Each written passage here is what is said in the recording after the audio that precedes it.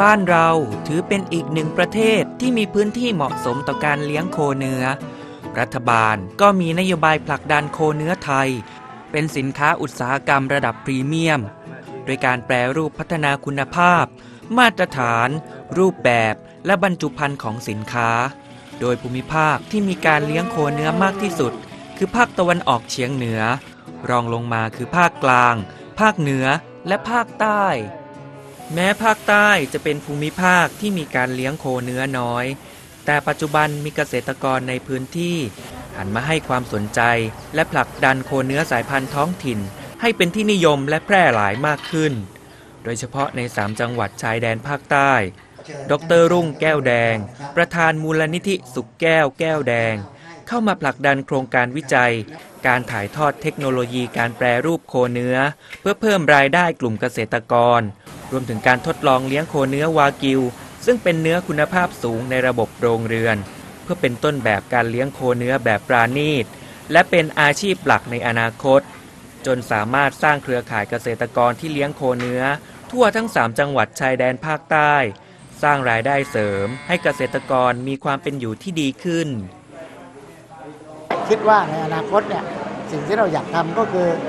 อยากทำในลักษณะนี้นะครับ อีกสักปีละ 4 5 6 กลุ่มนะครับเพื่อที่จะให้ขยายออกไปเรื่อยๆจนกระทั่งท้ายสุดเนี่ยจะเกิดการเลี้ยงโคเนื้อเนี่ยเหมือนในภูมิภาคอื่นนะครับที่เลี้ยงเองกินเองนะครับจะสร้างเศรษฐกิจสร้างรายได้ให้กับเกษตรกรครับเนื้อที่โดดเด่นที่สุดเนี่ยนะครับเป็นเนื้อที่อร่อยที่สุด และแพงที่สุดเนี่ยก็สายพันธุ์วากิวนะครับเราก็เอาน้ำเชื้อเนี่ยเอามาผสมกับ งัวลูกผสม 50%นะครับแบบที่เรากินอะเนื้อจะอร่อยและราคาแพงนั้นต่อไปเนี่ยในภาคใต้เราก็จะทำวากิวนะครับสายพันธุ์ญี่ปุ่นเนี่ยเหมือนกับทางภาคอีสานสำนักงานการวิจัยแห่งชาติ สนับสนุนให้มีการจัดตั้งศูนย์วิจัยชุมชน ให้เป็นศูนย์กลางของการแลกเปลี่ยนเรียนรู้ โดยให้นักวิชาการเข้ามาช่วยทำวิจัยร่วมกับชุมชน จนทำให้ชาวบ้านมีความรู้ นำไปพัฒนาต่อยอดการเลี้ยงโคเนื้อของตัวเองได้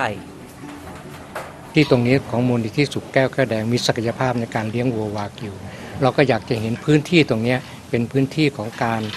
แลกเปลี่ยนเรียนรู้ระหว่างชุมชนกับนักวิชาการ ก็มีนักวิชาการเข้ามาช่วย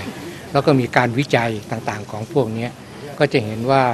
ความร่วมมือระหว่างชุมชนกับนักวิจัยที่อยู่ในของมูลนิธิเนี่ย ก็จะร่วมมือกันเขียนโครงการขอทุน อย่างเช่นตอนตอนนี้ทางทางมูลนิธิก็ได้ทุนจากของทางวชอีก5 0 0แสนบาทที่มาทำในเรื่องของการขยายผล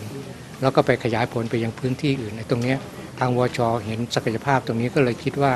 น่าที่จะเป็นแหล่งเรียนรู้ เพราะว่าได้ได้องค์ความรู้ต่างๆ ของพวกนี้ต้องการให้ขยายผลไปยังของสามจังหวัดชายภาคใต้คือสมาชิกแต่ละคนเลี้ยงอยู่แล้วแต่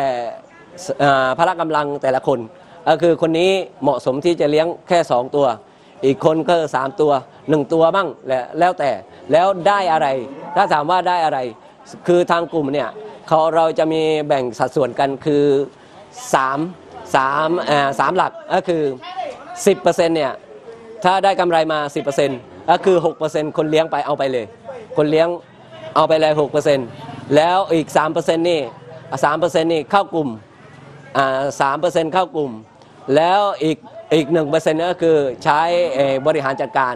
แล้วใน3%เปอร์เซ็นต์เนี่ยสามอีก3%ที่ที่ให้เข้ากลุ่มเนี่ยอีก1%ก็แยกอีกออกมาคือเพื่อให้ให้แก่สังคม การนำเทคโนโลยีมาปรับใช้ให้เข้ากับการเลี้ยงโคเนื้อใน 3 จังหวัดชายแดนภาคใต้ รวมถึงการตัดแต่งและแปรรูปผลิตภัณฑ์จากโคเนื้อ จากต้นแบบของยะลาวากิวฟาร์ม นับเป็นการสร้างรายได้ สร้างอาชีพให้เกษตรกรในพื้นที่อย่างยั่งยืน และยังเป็นการส่งเสริมผลิตภัณฑ์ท้องถิ่น ให้มีความโดดเด่น และเป็นที่รู้จักอย่างแพร่หลาย